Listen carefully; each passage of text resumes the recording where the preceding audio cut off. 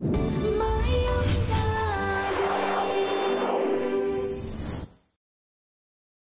Sen Home hân hạnh đồng hành cùng chương trình.